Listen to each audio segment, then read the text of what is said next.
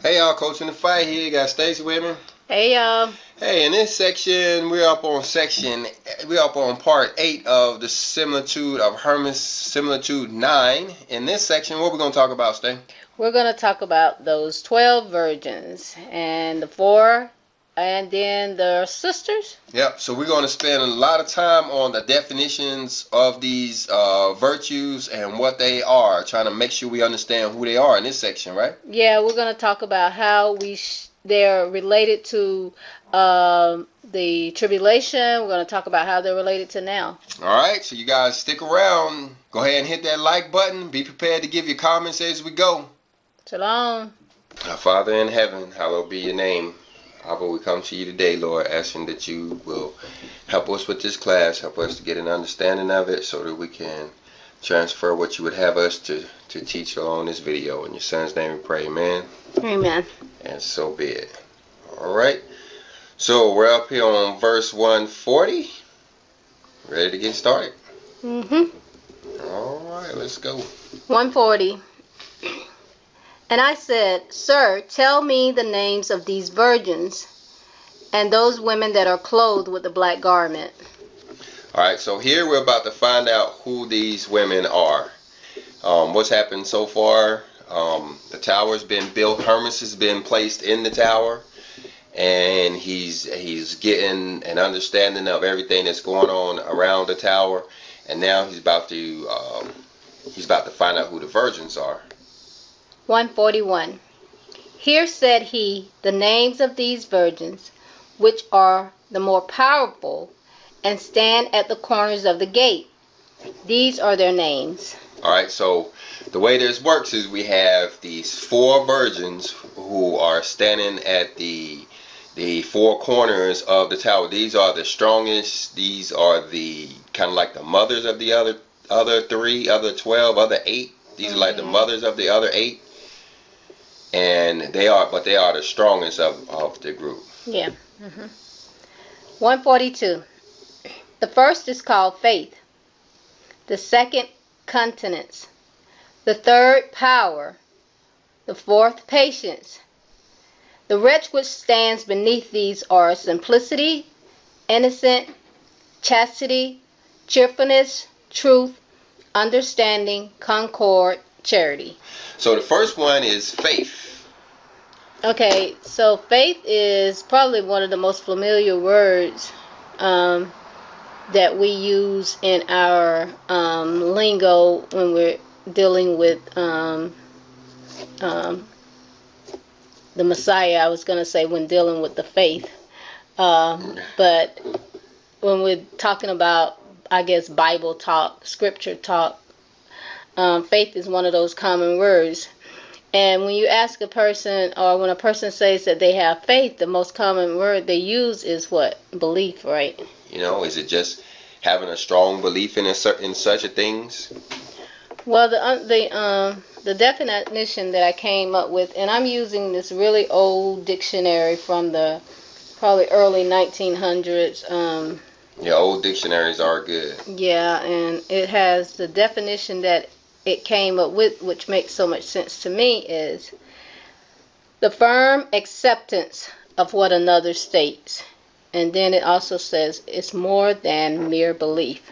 So the firm acceptance of what another states. So I think I think we was talking about this earlier, and we was giving the example of okay, if you have faith that I'm, if I tell you I'm gonna do something, and you have faith in that, you're you're basically having faith in what I've stated. There's, Yeah, and what you said you were going to do. There's no other proof other than the fact that I've said that this is what's getting ready to happen. Yeah, and you know, taking it through the through scripture when the Messiah went about to heal people, wa- remember the lady that he he healed, or let's take the uh, the guy that he healed. He said, uh, you know, by your faith, um, get up and and walk, or you know, take your Right. bed up and walk. And he was going by the words that the Messiah had spoken, um, the words that he had heard about the Messiah, God's word. Um, that's what he was believing in. Um, that's what he had accepted. And um, Right. That's all they all they had to go by was. Yeah. Okay. So. All right. What else? Is that all you have on faith? What else you have on faith? Um, I wrote down. Um, well, in our dictionary, um, faith is um, considered a, na- a noun, a thing, but in the Hebrew um, language, in the Hebrew context of the word, and this is Old Hebrew, uh, it's a verb. Really? Yeah, it's a doing thing, and that just makes so much sense that it's a doing. It's called action. It's calling you into action, um, calling you into believing. And I copied this down from um, um, this sister on um, that I I look at, and she uh, teaches Old Hebrew uh, from the website, uh, not from the website, but the YouTube channel Royal Roots. And she said, faith in our culture today is defined as knowing that God exists and He can do something if He wants to. That's what um, that's what we think of. He says, "I have faith in God. You know He can do it, and He only do it if He wants to."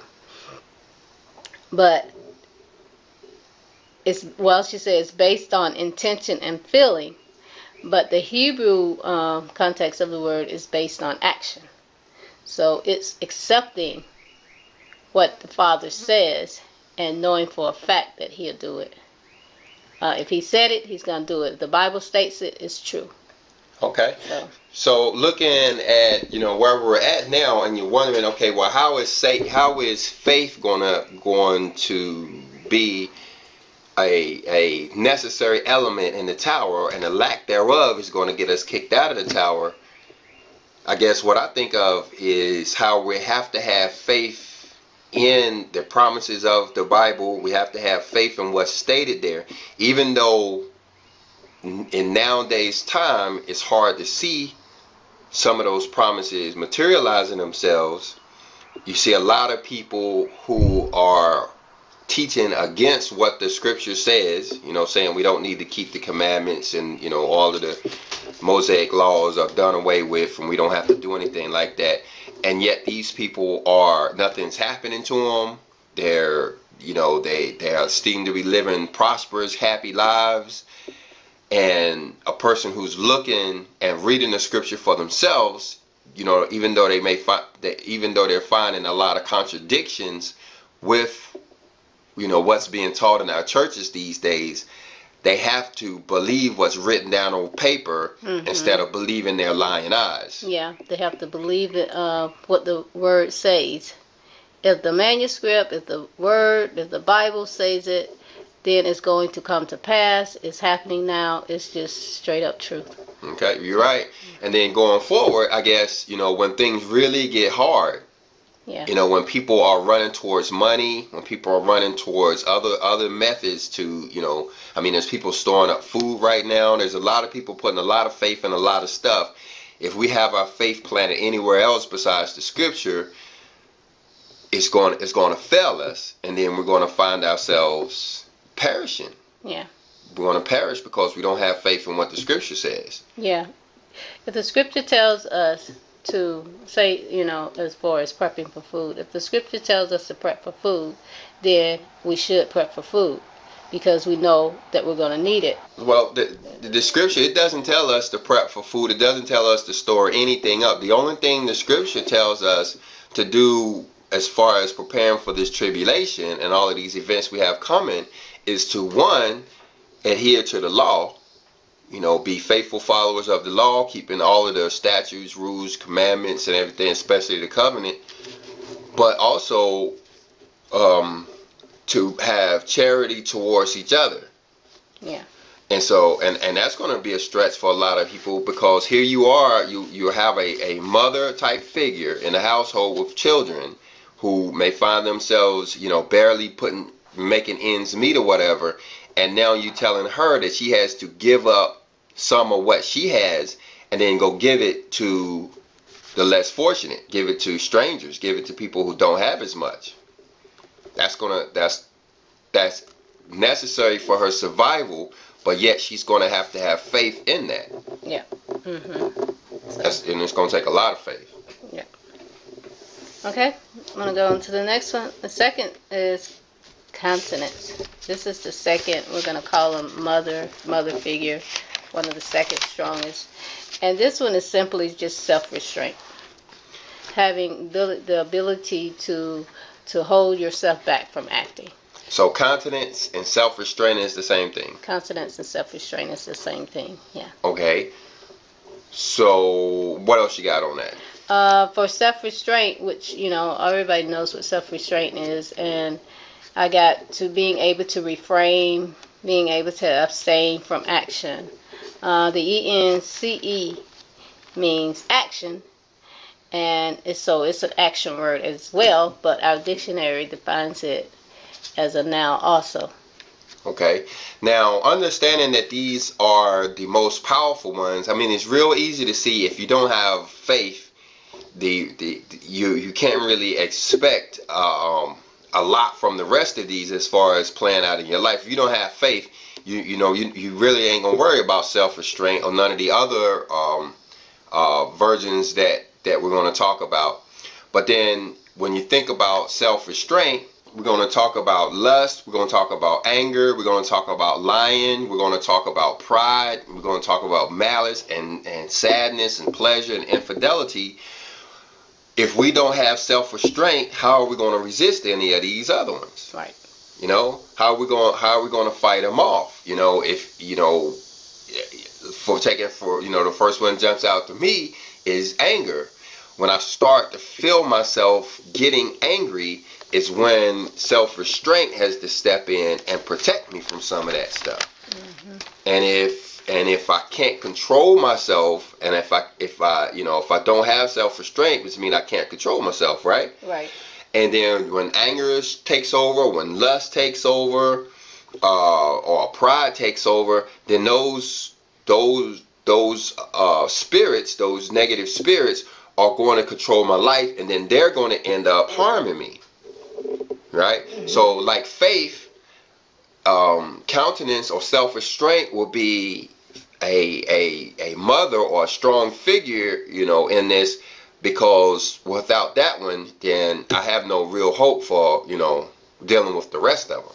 Yeah, another thing that uh, I'm thinking about with self restraint is, uh, say you're in a situation where uh, the leader of your home, your your husband, say, you know, look, we got to do it this way and you're like, no, you don't necessarily believe that it should go that way. You got to have some kind of self restraint, you know, in order to hold yourself back from uh, trying to, I guess, take on the leadership position and and and go your own way. You got to follow after him, or or you know, bad things could happen. well, whatever. well, that that reminds me of Willie Lynch, and you know how what Willie Lynch did to the African American race basically turning them upside down, putting the woman as the head of the household.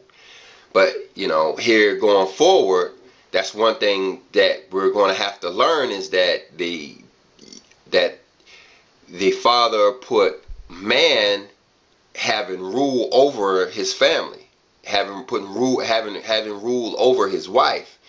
And like you say, when you come down to it and the wife wants to go one way and the man wants to go another. Let in, in I guess in your example, you have the wife who wants to follow what she's learned in the church and what she's heard all of these years from school and from TV and you know the courthouses and hospitals and everything that that she's learned.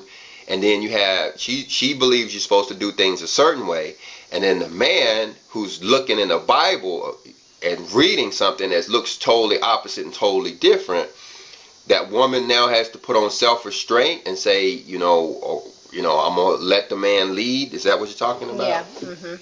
Yeah.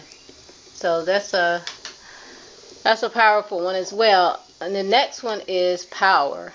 Power is the characteristic of a person or a thing that is brought into focus by action and by the fact of which that person or that thing produces change morally or physically. So power is is it is it just being able to carry out this stuff? Yeah, it's like I, one of the things that came to mind is when a person says he has that it factor.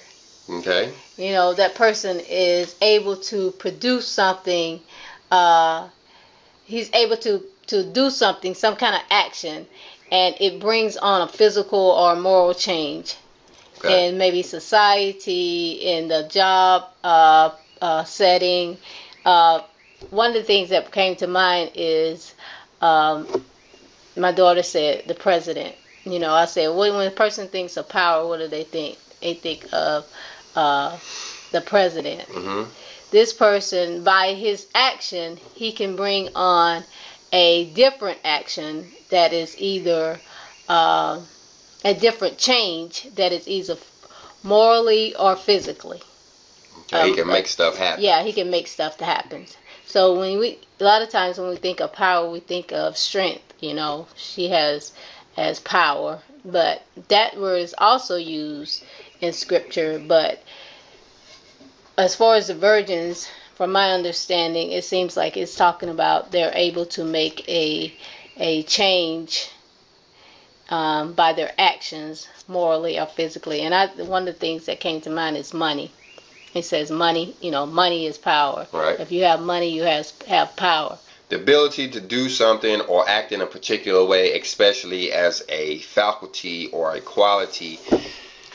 Yeah, well, power, in this case, dealing with these 12 virgins, power is what's going to be the thing that helps us to do the rest of this stuff.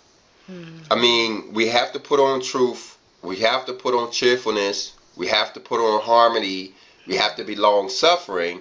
But if we're weak, how are we going to be able to do this stuff? If you're truly weak, if we are a weak individual, we don't have any power, how are we going to be able to put on cheerfulness? That's going to take a certain level of power, Right. right? And and you know, same way with the rest of them, long suffering. You have to be a little a little bit. I mean, the weakest person in the world can be impatient hmm right? It doesn't take it doesn't take much to be angry with anybody. You know, that's that's real easy to do. But that person who find this find themselves in adversity, being being you know being picked on, being messed with, um, with all the opportunity in the world to be angry, can put off anger and not be angry. That's power. And, and I believe that's what it's talking about here when it's saying that we have to have power. We have to be able to put off maliciousness, or we have to be able to put off sadness, or you know, and that kind of thing. Because if we can't, then it's going to get the best of us. So would you say a better definition was to be able to change both morally or physically? To be able to, to change, to use an action to change things. Well, you, Um, you, you're changing. Remember, a lot of a lot of these negative virtues are natural to us. Right. We were taught this in preschool. You know, we, you know, you first day you walked in preschool, somebody snatched something out of your hand, right. you know, and hit you with it. You know what I'm Mhm. saying? And so you you you immediately learn to be angry. You you you learn to tell lies. You know, when you know you you learn that you'll get you was gonna get your butt whooped when you talk when you told the truth. Mhm. You know what I'm saying? They basically beat the truth out of us Right. and made us start lying. Well, now, you know, as adults, you know, especially being this late in the game, we're having to unlearn these things. Right. And we're having to, yeah, we're having to, and so there's your change in which you, when you're changing from being an angry person to a cheerful person, or when you change changing from being full of malice to being innocent. Right. And so mm-hmm. yeah, so and it's going to take that power to to make that change. So I think your definition is right. I mean, Okay, our next one is patience. Patience is the quality or habit of enduring without complaint. You know, it sounds like the word meek. Remember the, the scripture says Yeah. the meek shall inherit the earth? Right. Yeah. You know, and it sounds like meekness. You know, when you know that's what I think of long suffering. I always think of somebody stepping on my foot or doing something to me, hmm and you know, instead of you know getting angry or, or lashing out or you know even you know screaming ouch real loud, you know, you have to endure, like your definition say, endure without complaint. Yeah. hmm Endure something without grieving or it distressing you. And then, you know, and then I, I guess some other things you could think about are patience is when you're thinking about these promises of the Father and some of the things that we're promised, but that we're not yet seeing, that haven't been materialized in our life. we're we're having to you know just wait on them like it goes back to faith having faith that you know of the things that we on faith in the things that we can't see but yet we have to be patient in order to wait on some of these things Mm-hmm. you know Yeah. a lot of these promises we're not going to see until after the tribulation Yeah, yeah. So those are the four strongest, and we're gonna briefly run. Wait, wait, before we before we go too fast, you say, well, how is, and I don't know if we said this about power, but how is long suffering, how is patience going to save our life in the tribulation, and you know, how's it, how is the lack of patience going to get us killed? Well, I would say having patience is just waiting, even though your, uh, you know, things seem to be getting worse, or, or things are are manifesting, you know, badly in front of your eyes. You have to not only have the faith that the uh, what the Messiah said will happen, but you're gonna have to have that patience to endure it. right? So and and so p- patience really has two different, at least two different paths. I'm not a you know expert on you know the American language or whatever, but one is waiting on the promises, and the other one is having long suffering with our neighbor because there's going to be a lot of stuff going on in this tribulation as far as um, hatred, maliciousness. There's going to be, you know, I mean, we're, we're talking about wars and we're talking about all kinds of stuff going on. And there's going to be, in my mind, there's going to be plenty of opportunities where people, our neighbors, our friends, are going to come at, come at, going to come at us, you know, with with anger or come at come at us with backbiting or or being slanderous or being malicious towards us and we have to be long suffering towards them and not lash out not retaliate against them. Because if we do it's going to end up being in a fight and then we're both going to end up perishing. I mean i mean does that make sense? I mean Yeah, I would say yeah, because uh, not only during the tribulation, but now. Yeah, Yeah. now, I mean, everybody's dealing with it now, but you know, this is kind of like practice time. If somebody does something to you and you retaliate against them now, probably nothing's bad going to happen to you.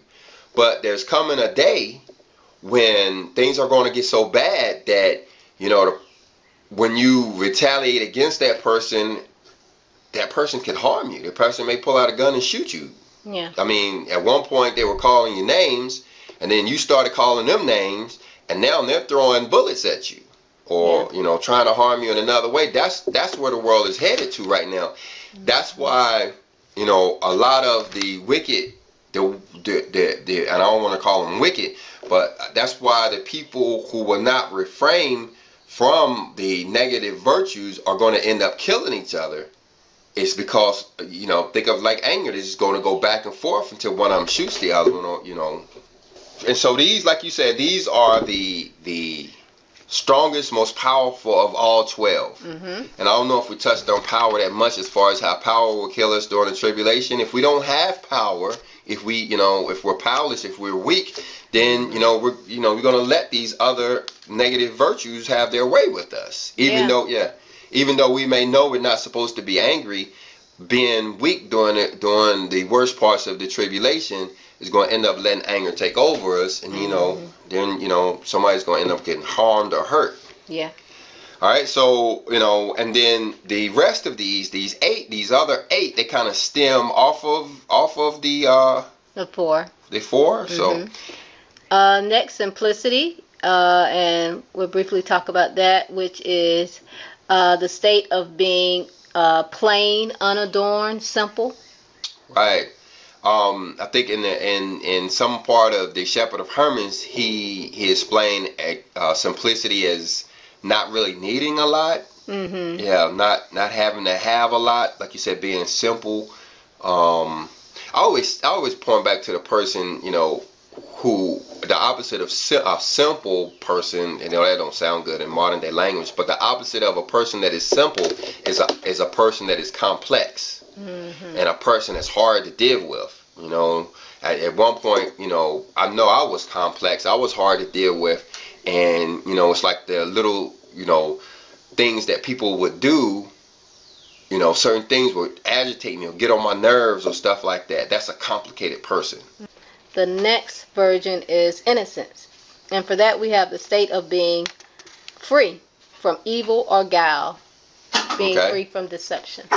The way I understand the tribulation is out of these 12 negative virtues, the, uh, these 12 negative virtues, they're going to be amplified, they're going to be increased, they're going to be widespread. Whereas we're seeing a little bit of them now, we're seeing a lot more than we used to see. They're gonna they're gonna steadily be ramped up until you know you can imagine mass chaos in the street with you know our neighbors out there fighting one another, hmm. you know, and so that so there'll be a lot of people being malicious and a lot of people being malicious towards us. And if we don't have a solid grasp on innocency or the lack of evil or guilelessness then we will start to partake in that with them allowing them that negative virtue to take a part on us and dragging us back to back to those back to you know back to those wicked mountains, back to the Yeah. mountains. It's going. to I mean, if once we start to partake in it, it's going to grab us and it's going to start to drag drag us back to where we came from. hmm Next is chastity, state of being undefiled, unpolluted, unclean. All right, let's start. Well, what does this mean? Because there was one person who made a comment, and I'm sure there's a lot more that's thinking about it. That when it says being chast, being chaste, or having chastity means being celibate. Even though people, you know, have been married for all of these years, you know, there's some that'll argue, and I think there's people that you know are single, but they'll argue that we're all supposed to be celibate. Mm. That's not scripture. Yeah, no, that actually breaks the first commandment. The first commandment of the Bible was to be fruitful and multiply. Yeah. So to now come back and say that you're supposed to be abstinent actually puts a, a contradiction in the first commandment Mm-hmm. and, you know, actually contradicts a lot of other stuff going on in the Bible. So it can't really mean that, can it? No, no, it doesn't mean that at all. It just means that uh, you're not clean and you're polluting yourself. Uh, So does it mean breaking the rules, breaking the commandments? When it means being chaste, it means uh, abstaining from wickedness? I would say, if you're defiling yourself, you're committing wickedness, and if you're being chaste, then you're you're not not committing wickedness. How is chastity a matter of life and death in the tribulation? Well, if you're not defiling yourself, you're not, uh, as we said, just said, uh, you're not committing um, trespasses against God's word. You're not uh, polluting yourself with uh, the things that the Father uh, consider unclean. Um, You know, you, you're being pure as far as all of the other statutes, rules, commandments, and everything. You're just being being true to the word is, is what it sounds like like it like it's trying to say. yeah. The next is cheerfulness, which means in good spirits, joyful. Cheer is a shout for joy in a or in praise or encouragement, give comfort or support.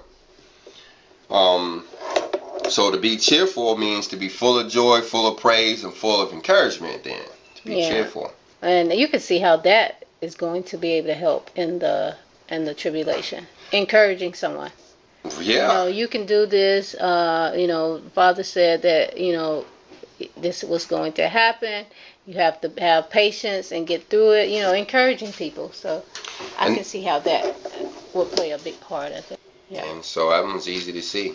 truth the state of being true which means not false in relation to uh, your knowledge or your speech Okay. Now, so truth. When I think of when I hear truth in this, it, I always think of the word and how, you know, we we having truth, you know, in the Bible, truth in the in the Word of God.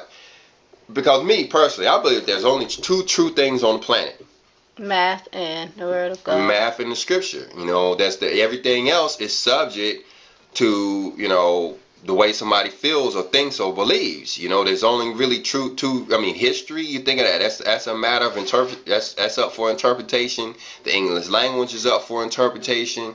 Uh, even a lot of elements of science are up for interpretation, whereas math is not. You know, two plus two is always going to equal four, and you know the Bible is the only other thing in the planet that you could count on to be 100% truth, 100, you know, all of the time, no matter what. You know, and so when I think of truth, that's what I think of is the scripture. So how is that gonna? Well, that simply tells you how it's gonna play out into the tribulation. Truth, the uh, the word of God. Yeah, because that's that's the only thing we have to survive with. You know, that's that was the purpose of the Bible being written anyway, is to help us get through this tribulation. You know, people, you know, the, especially the ones who don't read it, don't really get that part is that these are instructions for our survival. It's telling us what we have to do in order to survive this tribulation and live on past this huge bump in the road. There's there's about five five billion people about to die over the next seven years, you know, and only those that that are promised survival are those who um, adhere to the law adhere to, you know, the, the covenant, adhere to the word of God, and those who do what the Bible says and are, you know, involved in a lot of charitable deeds towards their brothers. Only those two types will survive. And the only way you know that is if you know that the Bible is true. And when you think of, you know, those that you even think of lying in this in that aspect, you think you're talking about people who are contaminating the word or not speaking the word truthfully, actually, you know, you know, preaching or teaching something that's contrary to what the word of God says, and that's going to end up getting people killed. Well, while you sit, you're sitting there thinking, I'm like, you say that the Bible is the book, a book written for our needs in the tribulation. We, we're going to need to know all this stuff for the tribulation. Yeah. Right. And I'm thinking that, well, do we need the Bible now? Because, you know, people who who don't read the Bible, who don't, you know, know nothing about the Lord, are neither care, they're, you know, they're living fairly decent, pleasurable, good, some, you know, rich lives. Well, and yeah. and they don't need the Bible. They're not reading the Bible. Uh, so is it a book that we need now or what we're needing to be doing now with the Bible is studying it, learning the laws, learning how to use them, following the, the commandments and the mandates. So when the tribulation does come, we'll know these things in order to get through it. Or do you see well, what I'm you, saying? Well, you have to understand when you when you when you're talking about people who are living without the scripture and seem to be doing well without the scripture, you have to understand that we live in an Egyptian culture or a Babylonian culture, and that's what these people are using to to be successful. Have you ever heard anybody say they're riding the goat? The, the Masons are riding the goat. What what that means is, I mean, they they, they might have a little a real goat down there for, just for show or whatever. But when they say they're riding the goat, what they're talking about is using those principles for success. Whereas me, I may I'm writing the Bible, I'm writing the Scripture, trying to get what I need out of it. You have other people who are using other means, tried and true means of success, and they are riding those. So you say, do we need the Bible? It depends on what your goals are if you just want to be wealthy in this world and live a comfortable life, no, you don't. Actually, the Bible will will actually get in the way of that a little bit right, yeah. because it's because the Father wants us to live a certain way according to you know you know the way he put the way he built this planet you got to remember before he put adam and eve on the planet he put everything they needed on the planet for them so 6000 years ago the father said we had everything we needed but you think of all of the stuff we've created and invented since then. A lot of that stuff was created and invented for satanic purposes, believe it or not. This computer that we're working on, this table that we're working on, these headphones that we're using to make this class were all created for the intent of, Satan. Uh, you know, we can use them for good purposes, but Satan needs this kind of stuff. He needs chairs, he needs houses, he needs cars and roads and buildings and, you know, running water and all of this other stuff in order to have himself materialized in in in in the future. You think it it may be hard to believe, but you go in and you look at CERN and you look at the, the medical industry that are that are learning how to transplant human heads and all of this stuff. All of that stuff is necessary to manifest Satan into reality. He's actually going to be put in a, in a human body at some point. As the guy we're calling the Antichrist, it's actually going to be Satan walking around in the flesh. But what that's going to take is the miracles of science to get him here. And so you think all of the things that had to be in place in order for science to work, you had to have cell phones, you had to have televisions, you had to have eyeglasses, you had to have, you know, all of this stuff, even even stuff like razors in order for these guys to shave and be down there in the in the meetings looking clean and such. All of that stuff was necessary for the manifestation of Satan. You say, well, do we do we have to have that stuff? No, we don't. So so what you say? Do we need the Bible? It just depends on what your goals are. Do you want to walk with Father, or you know, do you want to walk with Satan? Yeah, well, you, you should consider doing a class with the question, "Do we need the Bible?" Yeah. Yeah. Well, Okay. I'm taking too long. No, uh, uh, Mash next the one gas, is, y'all. Next one is understanding. Understanding simply means to make known. Understanding to make known. Now, I think it's real easy to understand how truth is is going to um, be a matter of life and death in the tribulation. Um, in fact, you know, there's a lot of bad things promised for those individuals who are not teaching the truth to his people. You know, you look at like Jeremiah chapter 14, um, and and and and what it says, what happens to the false prophets and such. You see that truth is gonna is gonna drag people. I mean, uh, the lack of truth is gonna drag people in the in the wrong direction. Now, understanding. So, what's the difference between understanding and truth? Under knowing the truth, Well, what was the definition of understanding again? to make known. When you understand something, you you you it's being made known to you. Okay. Now, some of the other words used is intelligence, or and that with the opposite being foolishness. Right. All right. So, so okay, you have the truth. I guess. I guess. I gives. I, I can give you the truth by giving you a Bible. I can put the truth in your hand by putting a Bible in your hand, or putting anything true in your hand. You know, I can. I can. I can. You know, pull up some. Pull up a psalm, or I can pull up a proverb and put that proverb in your hand and say, "Here is truth." But you know, it may take you days to get an understanding out of that. Mhm. You know, like even like Hermas. I mean, we've had the truth for 20 years. You know, you know, but but some of this understanding is just now coming out. Mhm. And so yeah, okay, so so and so well, so we can we can understand how understanding will be life or death during the tribulation. But like I said, because if you, you you can have the truth and not have any understanding of what of what you believe in. Yeah. Like like if I was to say, no weapon formed against you shall prosper. That's truth. Right. But do you do you- understand what? do you understand saying? what's being said there? Right. The Father wants you to be the head, not the tail. Right. Do you understand what he's saying there? Right. Because you know a lot of people can get the misunderstanding and Mhm. think you know, uh, this means that he wants me to have you know a brand new Lexus, not an old, not not an old Ford Escort. Mhm. You know, he wants me to have. He don't want me to live in a 1984 mobile home. You know, he wants me. He wants me to be the head. He wants Right. me down here in you know some of these five hundred thousand dollar brand new houses that they're building. Right. You know, so so yeah, Mhm. and yeah, so that makes sense. Yeah. The next being concord, which means uh, you live in harmony with agreement. Harmony and agreement with with each other. Right. Okay. Um. Well, I can I can see that harmony, harm get so basically getting along with each other. Right.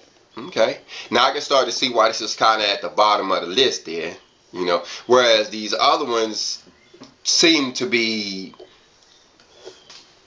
uh, I ain't gonna say more important because you have to have all twelve of them. But by the time you get down to hey, we're just gonna get along, you know, we it's gonna take. We, we've already cheerful. We're already chaste. We're already, you know, being Right. truthful. We always had an understanding, and you. But when you get down to concord and harmony, um, You need to have conquered all those. Yeah, You you- need to have yeah, yeah. learned all those. Right. You have to have those in order to to have harmony with a, another. Right, right. hmm The same goes for the next one, which is charity, and that says uh, giving liberally to the poor, Yeah. almsgiving. Yeah, charity or love or you know, it's one thing to say I love you, it's another thing to actually show love. And that's why, you know, it's this this William Wake edition which, you know, is the way the the translation that we found in the lost books of the Bible, forgotten books of the Eden. I believe is the most most important one. Um it uses chast it uses charity while the other ones uses love. You know, And charity, you know, that takes effort. Yeah, action. It takes you have to have action. Yeah, I noticed with a lot of the um, the old Hebrew words, is always action. There's action behind them. Yeah. There's doing something. Yeah. They're always constantly doing it. Yeah, and charity is extremely important. I know that one. I, I we've done classes on how charity is going to save people during the tribulation because that's that that's your only other hope. I mean, you you can be the the the Bible expert. You could be the, the the law expert. You can be an expert on the covenant, which is Exodus chapter 20 through 24 verse 7. You can read that every day or whatever and be those that are going to survive inside the ark based on the law and based on, you know, your understanding of, you know, what we're supposed to be doing as far as these biblical instructions. But how many people are doing that? Here in what we're in July 2019, out of all of the population on the planet, how many people would you guess are doing that right now? Not very many. I mean, out of a, if you would say out of a hundred people, how many people are doing it? I, I know you're guessing, but just take a guess. How many people would you say are following the rules of the covenant? Ten. I'd say one. I'd say one. I, it's absolutely nobody doing this. You have to. You you, think it, the it, the majority of people who claim to be Christian, claim to be believing in the Bible, they're going down to the church, and they are te- they are teaching opposite. They're telling you you don't have to you don't have to keep the commandments or the rules or the statutes or the judgments. You know, you start talking about the book of the covenant, and they start telling you that Jesus did away with that, and you don't have to do it. So how many people have have put down the church and got away from the, the, the church doctrine and have now gone back and picked up the Bible and read it for themselves and are doing it? Mm, yeah. I say Um, I say less than one, less than one out of a hundred. I say one in a thousand. I say you could do the math right now, and you could say that there's 7.5 billion people on the planet. Matter of fact, we, I, I can show you how many people are doing it right now. I'm gonna say population.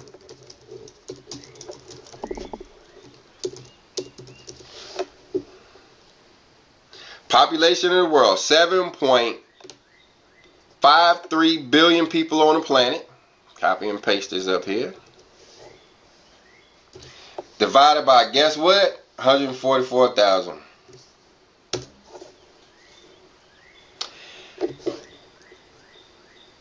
Hundred and forty-four thousand, and then we know that uh, one third of the hundred forty-four thousand actually have actions in the spirit world. So we can take that number and divide it by two thirds. We're gonna say two thirds of the 144,000 actually walking around right now. So we can say out of out of uh, 7.5 billion people on the planet, only about 35,000 are actually trying to do what the law say. mm, Only only Wow. about 35,000 people over the whole planet are actually trying to do what what the scriptures say. That's the purpose of the 144,000. That's why they're here. Is these are the only people who are actually trying to do what the scriptures say, and that's that's why some religions, like you know the um, Seven Day Adventists, no, the Jehovah Witnesses believe that they're the only ones that survive. Is you know because they're the only ones keeping the rules. They're the only one doing the rules. yeah. So they say. hmm Yeah, but you know, not and just as a side note, the 144,000 are not the only ones that survive. There's actually going to be some other ones who are going to be, you know, paying attention to, you know, paying attention to the 144,000 that basically following behind them. They will survive too. But then, and then you have the family members, you know, that's with them and all of that. So the numbers will increase. But my point is, is that if you ain't in this number, which the majority of people ain't, you know, the majority of people ain't. Uh, what is it? We'll look. look. All right, so you you're looking at only 35,000 people who's physically walking around right now who are actually trying to do what the scripture says to the letter, actually obeying all of the statutes, precepts, commandments, judgments, ordinances, you know, basically doing what the living out the Bible. What about the other 7,465,000 people that's on the planet right now? What are they going to do to survive? Well, in order to for them to have a chance to surviving, they have to have charity. The only other way, other than keeping the scripture and doing what the Bible says do, is to be charitable towards your brother. And I stress this because the Bible tells me to. It tells me to stress to people that you have to perform charitable deeds. If you're not keeping up with the law like you know you should be, then you need to start giving away stuff. You know, I hate I, I, hate to say open up your wallet because frankly that's the least of your actions that you can do is give away your money. Mm-hmm. But you need to be giving away your time. Mm-hmm. You need to be giving away you, what else? I mean, if if you're good at something, you you need to be doing stuff for other people. Mm-hmm. You know, I, I found myself I, I found it hard to to do charitable deeds nowadays because you know I don't really have a car. I don't really have money or, or, or, a way to do stuff, you know, and the Bible tells me that I could pray for people, and I do do that to get charitable deeds. But there's some days, like yesterday, when I feel the need to actually go out and try to do something for people. And so what did I do yesterday? I jumped on my bicycle and started riding around the neighborhood looking for people to help. Mm-hmm. Yeah, and actually found somebody. A lady just from out of the blue just comes up to me. She's got bags all over where she's carrying stuff, and she comes up and she says, "I need help. Mm. I need your help." I said, "Well, lady, you the one I've been looking for."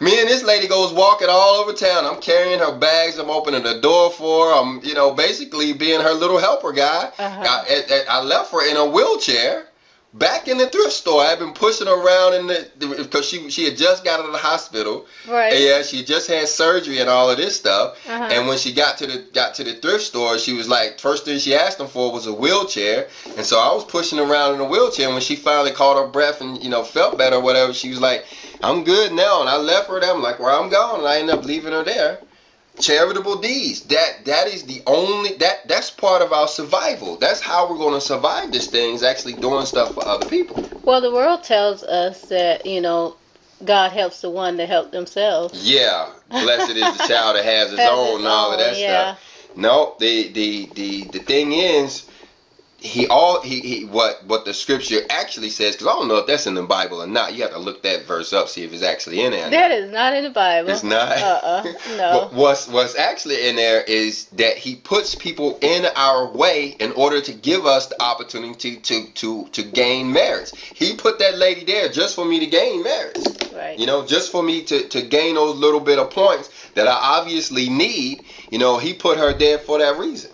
Right. You know. Yeah. And you know and that's and, and I give that story because that's what you guys in the listening audience have to be doing, looking for opportunities. You riding down the highway and you see somebody, you know, on the side of the road with with, with, with their tire blowed out. Yeah, you're supposed to stop. Mm-hmm. You you see somebody, you know, trying to get their groceries in their car. You know, they got a bunch of kids and they struggling. You're supposed to go help. Mm-hmm. I, I was over and I was in the hood, you know, yesterday too. I was trying to gain as many charitable deeds as I could I was in the hood and there was a um there was an elderly gentleman in a wheelchair. One of my friends, he was in a wheelchair, and you know he don't really like people helping him. But as he was pushing his wheelchair up the hill, I ran over there and grabbed the back of his wheelchair. I said, I'm gonna push you up this hill whether you like it or not. And he, he laughed a little bit. Usually he fussed, but he laughed, and I went ahead and pushed him in, the, you know, pushed him in the shade where he wanted to be at. You know, it wasn't that big a deal to him, but those merits are necessary for the survival in the tribulation. And you know that's what it's talking about charity. We have to be looking, actively looking for ways to help people. Yeah, because there's going to be this mother who uh, who has wasted all her time, all her energy playing, seeking after money, uh, seeking after fame, and all this other stuff. And you know this, right? While you're here uh, struggling, she's gonna be without during yeah. the tribulation, and you're still gonna have to give her that charity. Yeah, the, the same lady that's riding past you right now right. in her luxury car, you know, right. on her cell phone, she ain't got time enough to even throw her hand up and say hi. one day is going to find herself, like you say, in need. You know, that day is coming for all of us. You know, that's that's part of the tribulation. Is that you know the world is going to be humbled. He says there's an earthquake that's going to shake down every building on the planet. So you can imagine how much charity, how much charitable opportunities are going to be available. And if you are a person who is selfish and you don't believe that you're supposed to be, you know, helping out anybody, then you know you're going to be on your own. You know, and he promises us that it's not really survivable without his help. The tribulation is not survivable without his help. We have to have angelic help. Angels actually stepping in to help us if we want to survive this thing. It's going to get that bad. Mm-hmm. Mm-hmm. Okay, let's go briefly go on to the next scripture, which speaks of 143. Go ahead. And 143 says, Whosoever therefore bear these names and the names of the Son of God shall enter into the kingdom of God. Yeah, and we talked about this in in the other classes how you know without these virtues you're actually taking the name of the Father in vain. Mm-hmm. Even even the Messiah had to put on these virtues. He had to be innocent. He had to be simple. He was chaste. He he had understanding and truth. He even the Messiah walking around in the flesh for 33 odd years had these positive virtues. It was necessary that he put on these same virtues, or even he wouldn't have made it into the tower. Mm-hmm. You know? Yeah. And I'm sitting here thinking, uh, the our forefathers did too yeah. Moses, Abraham, they had to have these virtues as well. Yeah, they would have. Thinking, thinking about how tough it would have been for Moses with those two million people if he hadn't had these virtues. Patience. Yeah, if he hadn't had patience, if he was an angry person. Right. You know yeah. what I mean? If he if he was a complicated dude to deal with. Yeah. You know, if he was running around sneaking and you know, you know, breaking laws every once in a while, or if he didn't care nothing about the truth, he come out there and said, "Thus saith the Lord, y'all supposed to do." yeah, if he didn't care about the poor. yeah, know, they they were they were all poor. Yeah. yeah. And so, and and that was the same way. With, with that would have been the same way with the rest. What if Jacob didn't have these traits, or right. you know, you know? So yeah, they all of our forefathers were like that. You know, all of our forefathers had these traits. They were all like that.